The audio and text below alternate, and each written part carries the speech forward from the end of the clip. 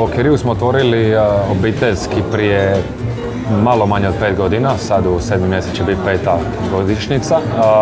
Koncept restorana se u stvari temelji na mediteranskoj kuhinji, od e, klasične nekakve hrvatske tradicionalnije kuhinje koju pokušavamo malo modernizirati, napraviti nekakav twist, sve do ostalih mediteranskih zemalja, e, ovisno o sezoni, ovisno o, o, igri u kuhinji, koliko, ovaj, koliko zanimljivih stvari možemo napraviti.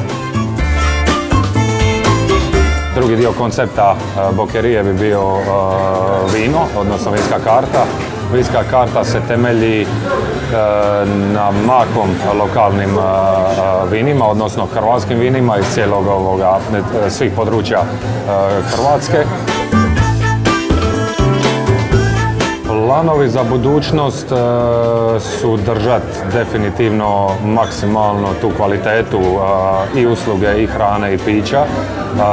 Mislim da je to jedini način kako opstati danas na tržištu jer je sve više više restorana, sve više više e, kafića koji pokušavaju držati taj nivo kvalitete.